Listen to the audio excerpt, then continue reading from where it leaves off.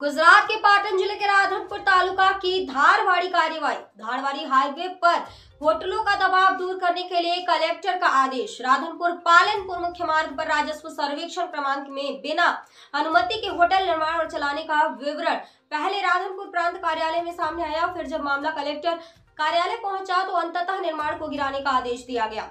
राधनपुर तालुका के राजस्व सर्वेक्षण संख्या तीन सौ अट्ठावन में तदशी भाई बिजल भाई ठाकुर कृषि भूमि में कृषि भूमि के मालिक हैं। लेकिन उन्होंने ग्राम पंचायत के संकल्प संख्या तीन के माध्यम से 2021 में ग्राम पंचायत की आय बढ़ाने के मूल्यांकन रजिस्टर में प्रवेश किया।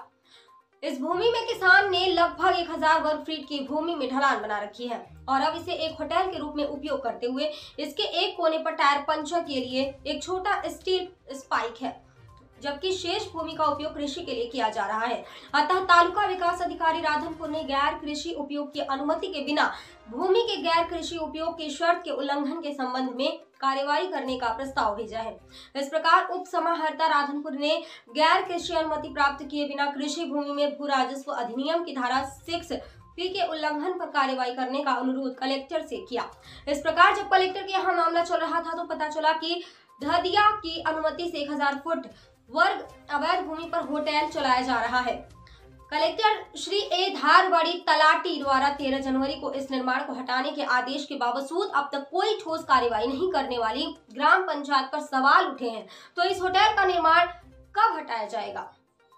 कानूनी संघ न्यूज़ के लिए संपादक एंड डायरेक्टर रोहित के मेहता की रिपोर्ट।